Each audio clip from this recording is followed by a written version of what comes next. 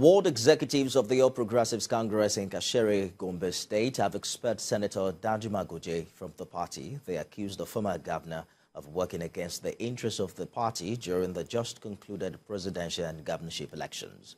Larry Adeyemi has details. Executives of the All Progressive Congress in Kashere Ward have just done what can be equated as a political explosion. They have expelled Senator Danjuma Goje from the party. They accuse him of anti-party activity.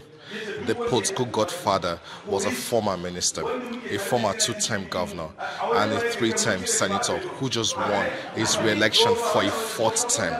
They accuse him that he's been unsupportive of the party and had worked against the interest of the party in the just concluded presidential and state governorship elections.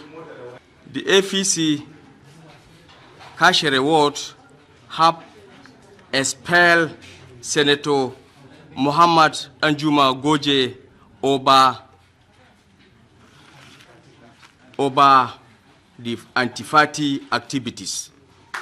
A foundation member of APC, Senator Danjuma Goje, is yet to respond to his expulsion.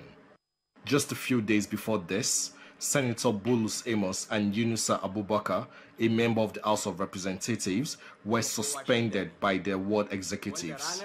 Though there is no scheduled election in Gombe State in the next couple of years, it is crucial that the APC gets its house in order and heal old grudges.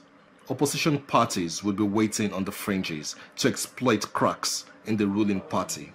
Landry Adeyemi, TVC News, Gombe.